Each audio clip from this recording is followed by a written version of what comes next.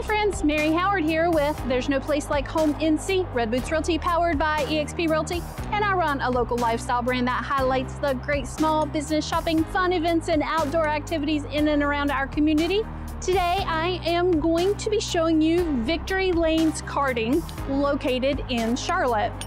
There are so many different options for karting in and around the Charlotte area.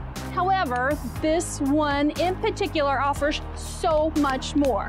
The location has two different tracks, one for amateurs and one that's a little bit more difficult. On certain Sundays, they combine the tracks for one ultimate experience. Check out their website at victorylaneskarting.com to locate the calendar for those dates.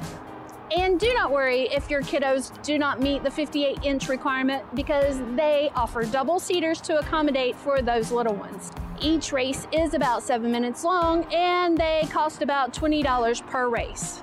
If you're not really into racing, they have so much more. There is a restaurant, a bar, bowling alley, arcade, axe throwing, and virtual reality. It's ridiculous. The restaurant here specializes in American cuisine, and let me tell you, those cheese fries are delicious. they also have a plethora of beers on draft, and many different mixed drinks and wines are available. There are four lanes for bowling at $35 per lane per hour. The arcade here has many different games and is great for the little ones to play on while the adults have a beverage or two. Most notably, there are four lanes for axe throwing. Axe throwing has become really popular and VLK has it all. If you're new to axe throwing, it is amazing fun and definitely worth giving it a shot. They do only offer walk-in availability for this activity, so make sure that you have a time frame you can wait. It's $15 per person for half an hour and $20 for the whole hour. Make sure you wear closed-toed shoes. The location is great for birthday parties, work parties, corporate retreats, or just a fun night out.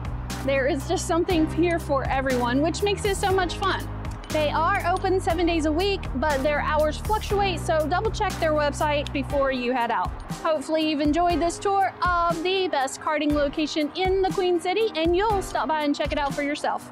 Watch this next video for fun things to do in and around our community, and please hit that thumbs up button if you enjoyed this video. If you have future video suggestion topics, could you please leave those in the comment section below? Thank you for watching. My name is Mary Howard, and this is There Is No Place Like Home NC.